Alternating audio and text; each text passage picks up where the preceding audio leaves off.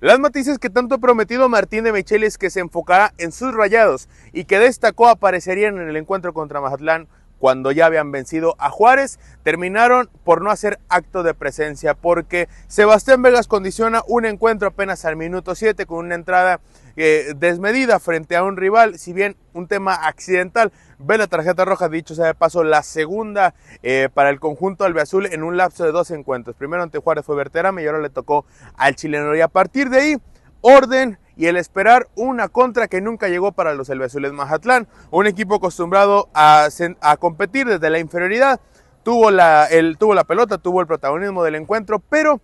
fabricó poco o nada, salvo una ocasión que tuvieron en la última jugada del encuentro y no pudieron capitalizar frente al arco de Esteban Andrada, tampoco, tampoco es que hayan dañado mucho al conjunto blanco eh, y azul. Ahora bien, ¿qué viene para Rayados después de este empate contra Mazatlán? Después de eh, continuada la semana bisagra, esa que denominó así de Michelis, que triunfan ante Santos, vencen a Juárez y ahora empatan ante Mazatlán, el sumar 7 de 9 eh, puntos disponibles suena a muchos, sin embargo hay que considerar un poco lo gris que se mostró en diferentes lapsos de esos encuentros y que incluso la afición lo reprocha eh, al final del encuentro con abucheos. Semana larga ahora para el conjunto albiazul, revisando un poco el tema de la lesión Estefan Medina. Lo positivo, Gerardo Ortega y Jordi Cortizo ya volvieron a la actividad con el grupo. Semana larga para poner mira en las Chivas de Fernando Gago. Visita a Lacron el próximo sábado y con ello empezar a matizar y como dijo Martín de Micheles en conferencia de prensa, ir por el triunfo porque a eso vamos a ir a Guadalajara.